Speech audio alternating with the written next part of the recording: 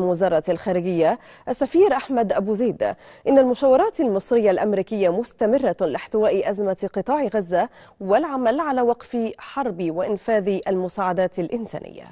كما أضاف المتحدث الرسمي أن شكري أكد على مخاطر توسيع رقعة الصراع في المنطقة وتأثير ذلك على أمن وسلامة شعوبها.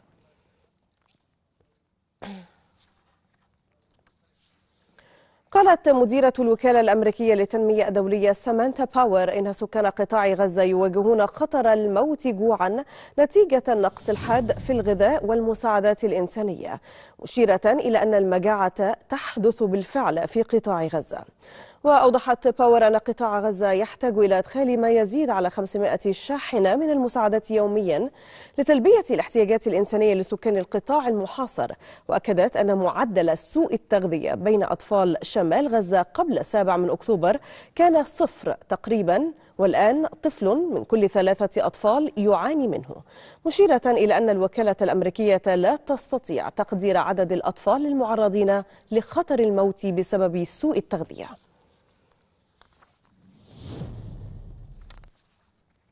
حذرت منظمة الأغذية والزراعة للأمم المتحدة الفاو من أن التدهور السريع لحالة الأمن الغذائي في غزة وصل إلى مرحلة حادة خاصة في شمال القطاع الذي يشهد مجاعة تحققت غالبية شواهدها. يأتي ذلك مع استمرار العدوان الإسرائيلي والحصار الخانق على قطاع غزة وتفاقم الأوضاع والظروف الإنسانية والصحية لأكثر من مليوني نازح فلسطيني ووصلت إلى مرحلة كارثية لم يسبق لها مثيل. مع استمرار العدوان الإسرائيلي والحصار الخانق على قطاع غزة تفاقمت الأوضاع والظروف الإنسانية والصحية لأكثر من مليوني نازح فلسطيني. ووصلت إلى مرحلة كارثية. لم يسبق لها مثيل في العصر الحديث. ونتيجة لطول أمد الحرب. ومنع واستهداف جيش الاحتلال الإسرائيلي لقوافل المساعدات. بات أهالي القطاع.